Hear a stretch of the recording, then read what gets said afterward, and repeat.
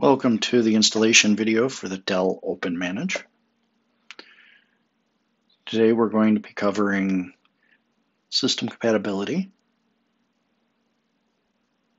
creating a least privileged user, installing the management pack,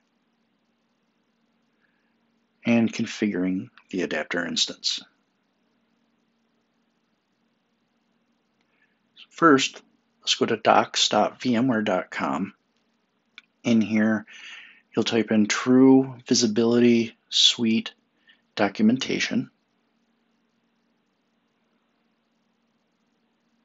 It'll be the first link that comes up. This gives you a link to all of the management packs. Here we'll find D Dell EMC OpenManage. And let's go to System Requirements. This will tell you what the least privileged user needs to be. For this one, we're going to need the view, viewer user role. Now let's connect to the OpenManage.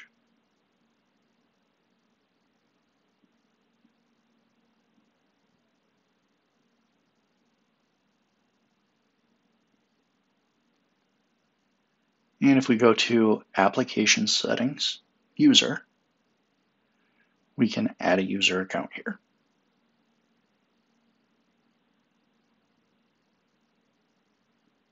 The username may be your preference.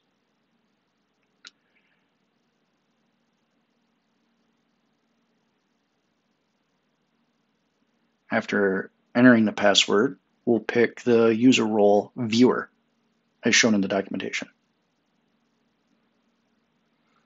Now let's go to the management pack configuration. First we'll log in to the Operations Manager UI.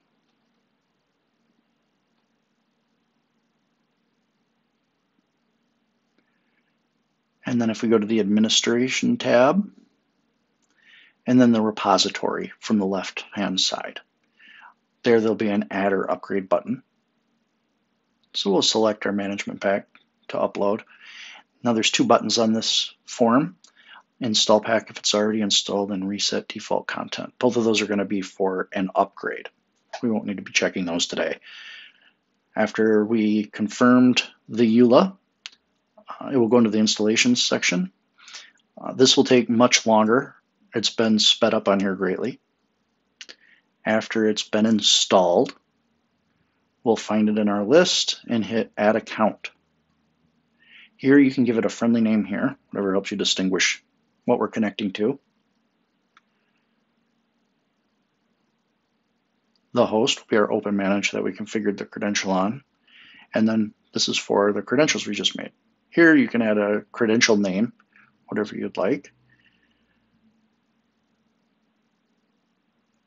And then our username and password. We'll validate the connection. And this will give us an SSL to accept.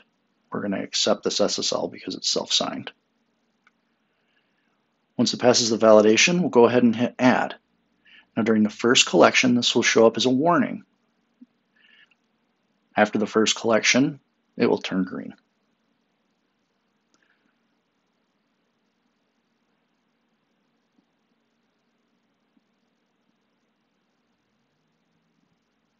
If you have any additional questions, please contact your VMware rep. Thank you.